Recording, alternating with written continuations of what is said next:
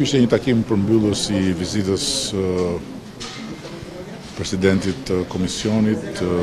komisionerit për zgjerimin si dhe të shefes së diplomacisë evropiane këtu në Sofje, pas stacioneve në gjithë pikat ku ata u ndalën në Ballkan. Dhe në një farë mënyre ishte një bilanc që unë e konsideroj shumë pozitiv, të cilin e parashtroi presidenti Juncker, si dhe po ashtu një diskutim mbi ecurinë e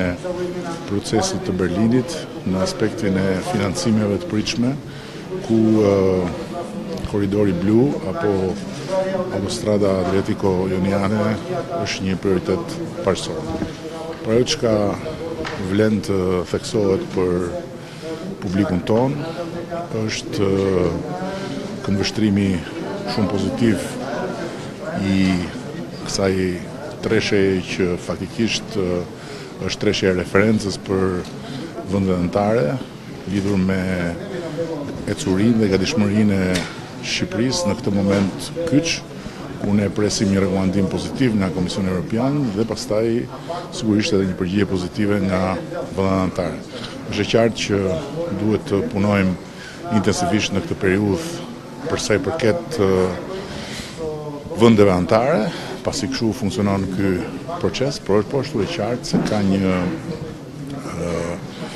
mirëkuptim të gjerë lidhur me hapat e rëndësishëm përpara që ka bërë Shqipëria dhe mbase vlen të nënvizohet në fund që edhe operacioni më i fundit i agjencive tona ligjzbatuese, hetimi doganor dhe policia e shtetit me mbështetjen e prokurorisë pati një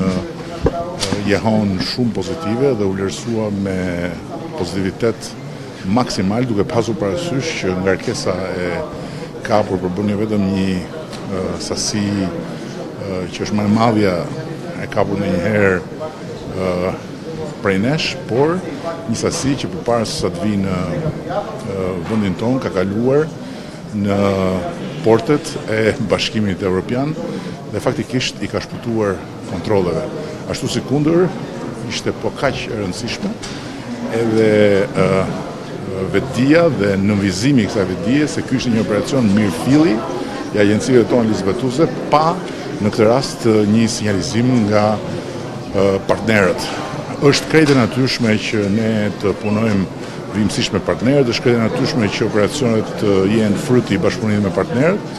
por në këtë rast është treguar gatishmëri dhe integritet i lartë i vetë forcave tona të angazhuara në luftën kundër